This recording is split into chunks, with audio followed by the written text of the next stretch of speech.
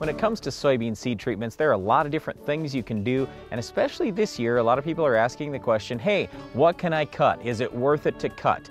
So let's talk about each of these different categories. We've got fungicide, we've got biological, we have insecticide, and really coming back to the biological, we got different categories even of biological. So let's get into all this. Well, let's start with the inoculant. That's one that's been out there for a long, long time, and guys have said, well, I, I did inoculant 30 years ago. I don't know if I, I still need to be doing that. Haven't they evolved into something different? Soybeans are still a legume crop. They still need rhizobia bacteria colonizing on the root system to produce nitrogen for the plant. And we get the question every summer, hey, should I add more nitrogen out to my soybean plants? I ask the question first, well, did you inoculate? And if you did inoculate and your inoculant has worked well and you've got lots of nodules on the root system and you have high levels of organic matter in your soil, no, you don't have to spend any money on extra nitrogen in most cases. Now, if you say, well, no, I have not been inoculating and I really don't have much organic matter in my soil for whatever reason, well, that, that may change things. And I look at this $2 investment of putting an inoculant on the seed and think, wow,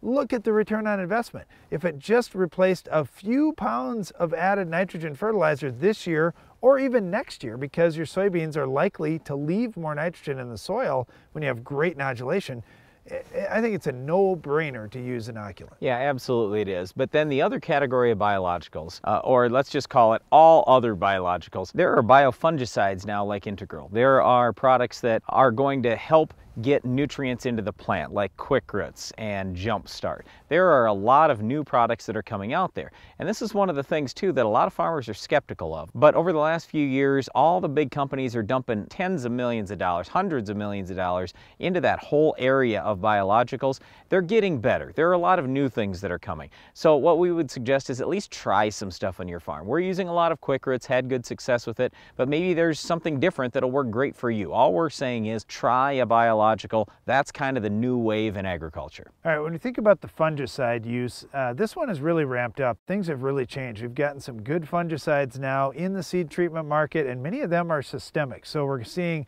protection not only for the seed, but for that young seedling as well. Uh, that is starting to amount to some pretty good yield gains. And when you think about the cost, many times you're only looking at a few bucks for these uh, fungicide only applications. Well, at that price, it takes less than one bushel of soybeans gained to pay for that treatment and to get a two to one return on investment, maybe it takes a bushel and a half. Well, in many cases, you're seeing that bushel and a half come back. However, not all cases, and this is what gets a little bit challenging. Some years you may see a 5 or 10 bushel gain using a fungicide on soybeans.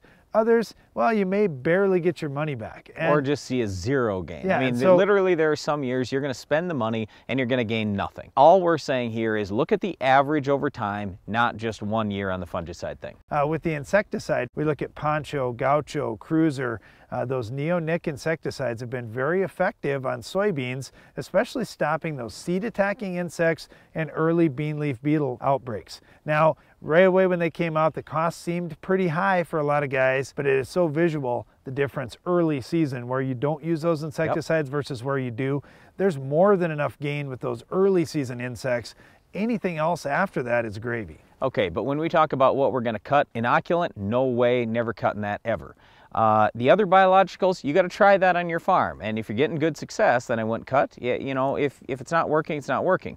Fungicide, you got to play the odds a little bit in our cooler environment, heavier soils for us, we're always putting fungicide on. The insecticide, if you've never had bugs before, you certainly don't have to use the insecticide. You could cut that. But all I know is on our farm, we have bean leaf beetles, we have grasshoppers, we have soybean aphids, we have wireworms, we have a number of bugs out there that we do get activity with on these neonics. They're systemic, they're inexpensive, they're relatively safe to humans in the environment. So that's a real good thing to do, especially in our case. Soybean seed treatments will certainly be important this year on many farms, and so will weed control. We'll show you how to stop this tough weed coming up next.